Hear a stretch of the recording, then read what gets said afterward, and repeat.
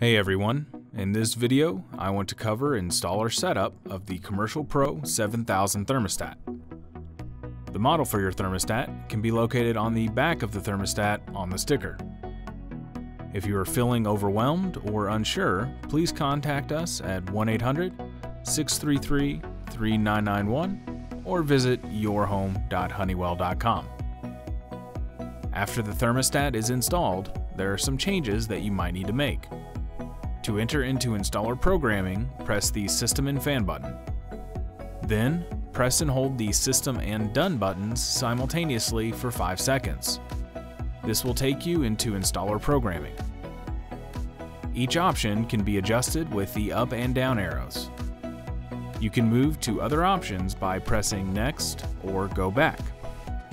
For example, options 0120 to 0160 are for setting the date. Setting 0170 is for selecting the system type.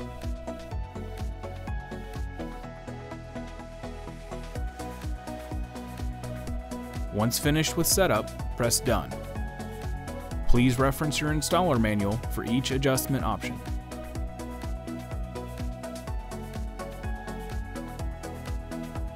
Also, if you are just needing to test functionality, after entering installer programming, use the Go Back button to reach the test modes.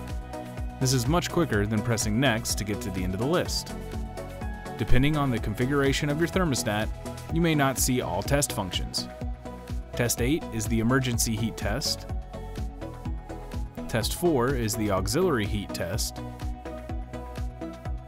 Test 3 is the heat test. Test 2 is the fan test.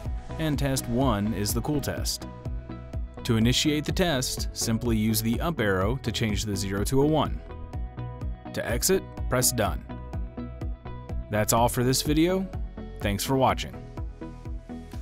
For more support and documentation, please visit honeywellhome.com.